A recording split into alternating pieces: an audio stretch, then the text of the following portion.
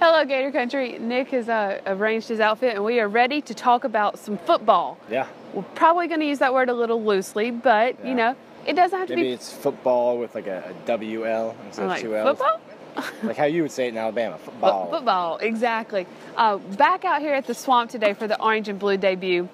Wasn't pretty at times, but got the job done. First off, just quick, two points, maybe 30 seconds. What was your overview of the orange and blue game? Uh, it's definitely not pretty, but uh, first off, really hats off. I know, you know, I make light of it. I think everyone's made light of it about the offensive line, but hats off to Jim McElwain and the coaching staff for being able to navigate a spring with with seven offensive linemen, um, and then the last week, and then today only six after Rod Johnson's injury. So hats off to them. Hats off to the offensive linemen. They, uh, you know, people poke fun at offensive linemen for not being in the best of shape, but Florida's offensive linemen are probably in a lot better shape than most right now, just with the sheer volume that they had to go through rep wise this spring. So hats off to them, uh, and you know, for being able to come out here and, and put on something that looked like a football game when we all thought it was, Was just going to be a had quarters and halftime and everything. Yeah, how about that? We didn't get a halftime performance though. That would have been nice. Yeah, uh, you were lined up to do it. I Uh, heard. yeah, I, I You're gonna do a little Mariah Carey, tweaked but my hammy. I had to pull be be careful for the future. Um, let's just start with the quarterbacks. Mm-hmm. That's kind of the position that's in the most question right now, the most Right. limelight. Grier and Harris, Mornhinweg and, and Guy took some reps as well, but we all know that it's come down to Grier and Harris. What did you see between the two of those guys? Well, I think today what we saw is, or everyone got to see, is that there's clearly two classes at quarterback. You've got Grier and Harris in one class, and then everyone else is in another class. So this job really is between two guys. And in my opinion, what I've told this camera and the people that watch the things that go into the camera, um, I think Will Grier is going to be your starter. He was 8 of 11 today for 136 yards. Um, McElwain did mention that he showed a little too much emotion when the guys were dropping passes.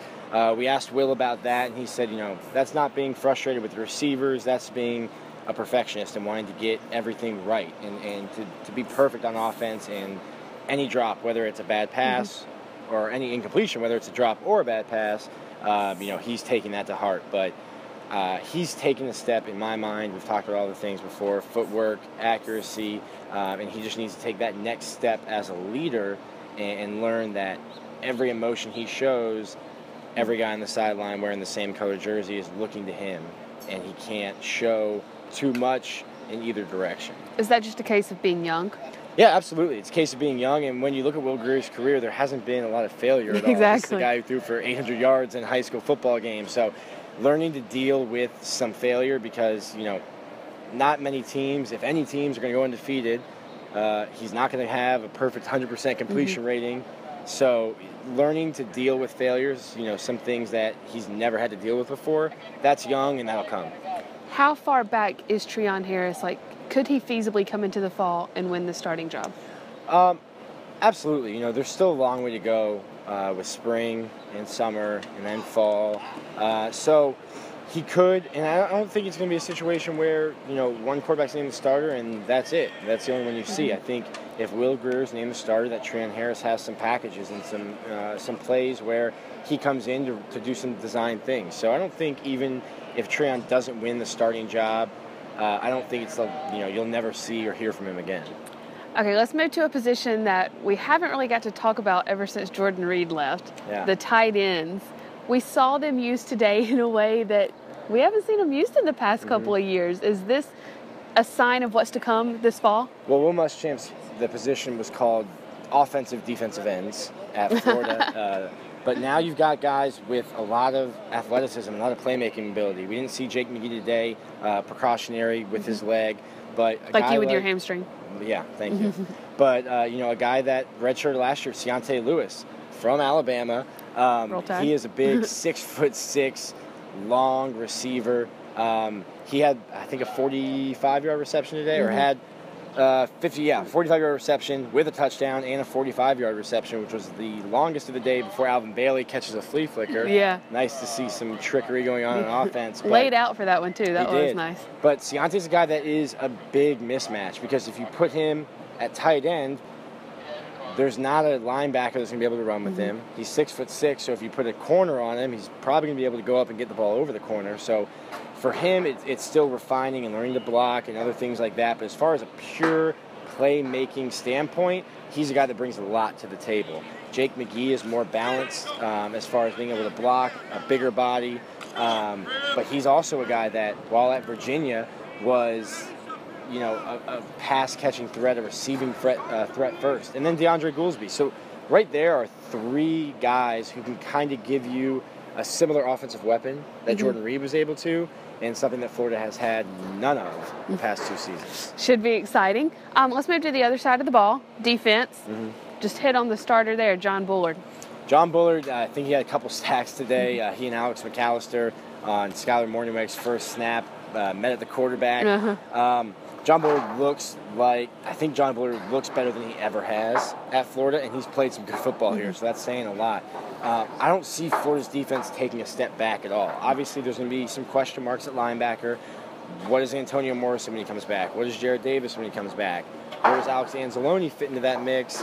Other guys, Matt Rowland looked better today running around. Daniel McMillian still is making strides in the spring. But the defensive line with Joey Ivie, Taven Bryan, Alex McCalister, Jon Bullard, Caleb Brantley, Haley Clark, the list kind of just keeps going on.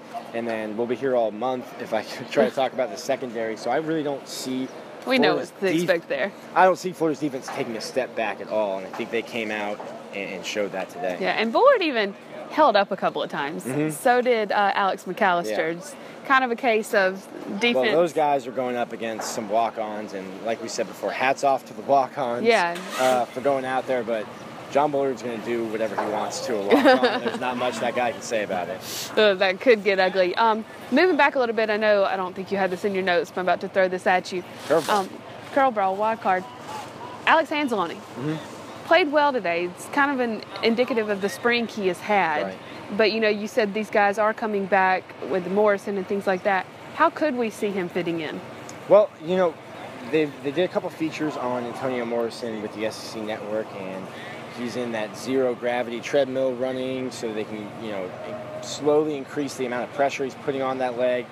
Uh, it, it's tough though. He's a guy that had you know a meniscus injury uh, two years ago, missed some time, another knee injury now. If he can come back, you assume that he's going to be the starter. You know, he's, a long-term starter, uh, a guy that commands respect and has the respect of everyone in that locker room.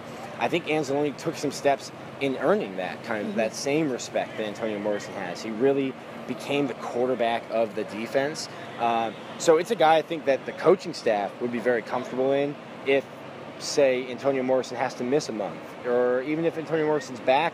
I think they're com- as comfortable with throwing Alex Anzalone out in the field as they would with throwing Morrison out there right now. He's got great hair.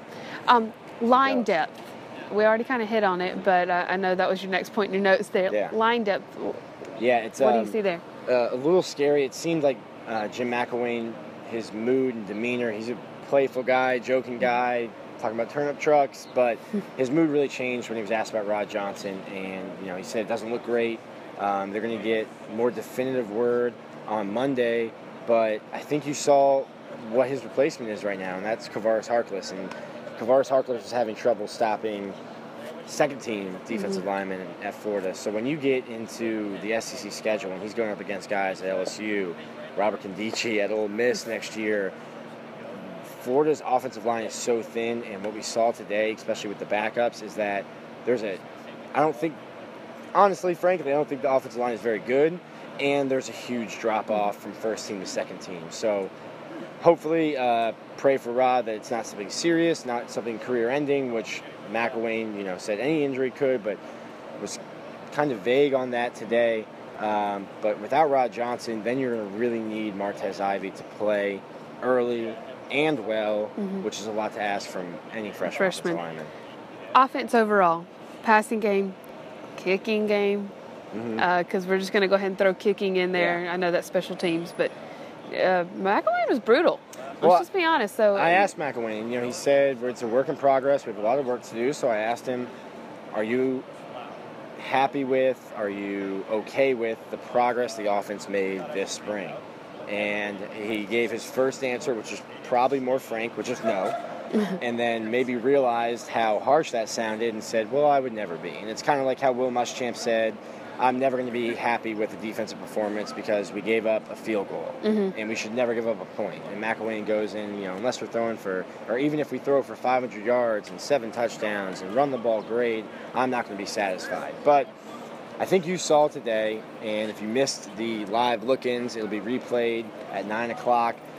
The offense has a long way to go. They're they're not going to be a top half of the SEC offense. McElwain and those guys are really trying to piece things together, but they're they're still, you know, in the infancy stages of building what he wants to have offensively. And then just hit on it real quick. Is Austin Hardin in jeopardy with his job? Well, there's, you know, you've got Jorge Powell behind him, but there's not really anyone that can take his job. Uh, McElwain was very unhappy about the kickoffs. Austin Hardin's a guy with a big leg. Um, somebody who, when we would talk to coming in to school, really just wanted to boot the ball through the end zone. And McElwain's comments today were, I thought coming in here we'd have a guy to be able to kick the ball through the end zone, and apparently we don't. So, you know, an offensive coach, Brutally really- honest. an offensive coach maybe doesn't like the special teams guys. He definitely doesn't like the punter because he never wants his offense staff to punt. But yeah, he, he let Austin Hardin know he's not happy about the kickoff duty today. Maybe just the kick, pun intended, that he needs to get going. Um, She'll be here all week. Try exactly. the veal. Well, I guess that does it for spring 2015. Spring 2015, our introduction to the Jim McElwain era. It is in the books. Close it. We will see you Nice. on the boards, and we will see you back with uh, summer. Summer, Recruiting's fall about camp. to heat up with the spring evaluation period, so make sure you check out Andrew Spivey. And Shameless plug. Yeah. Not Should shameless. be- It wasn't even for me. Also, check out at Nick Delatorre GC on Twitter. Oh my gosh. Okay, we're, we are done here. Uh, great spring, Nick. Thanks for all you've done through practice. Um, we'll be back summer and then kick it off for the fall. Should be fun. Thank you.